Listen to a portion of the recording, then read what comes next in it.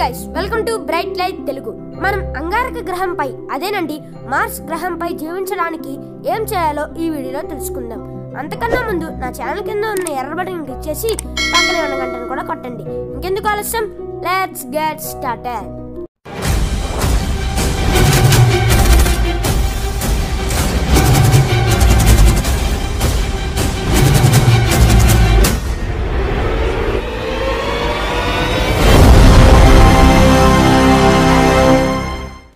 అంగారక గ్రహంపై జీవితం సాధ్యమే. కానీ ప్రస్తుతం అది మానవ జాతికి నివాస యోగ్యం కాదు.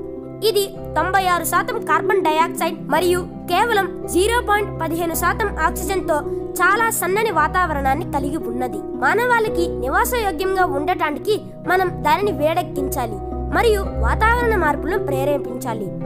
అణుబాంబులను దానిపై పడవేయడం ద్వారా మనం దీన్ని చేయవచ్చు. ఇప్పుడు గ్రహం వేడెక్కుతుంది.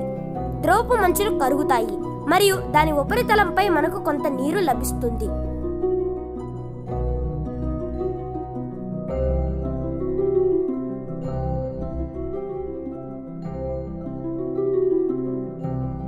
మట్టిలో ఉన్న ఆక్సిజన్ కూడా విడుదల అవుతుంది. ఈ దుమ్ము మబ్బు కార్బన్ డయాక్సైడ్ ఎక్కువగా ఉన్న వాతావరణంలో స్పేస్ సూట్ లేకుండా జీవించడానికి మనకు ఎక్కువ ఆక్సిజన్ అవసరం. ఇప్పుడు వాతావరణంలోకి ఆక్సిజన్ను విడుదల చేయడానికి జన్యుపరంగా ఇంజనీరింగ్ చేసిన పంటలను నాటవచ్చు.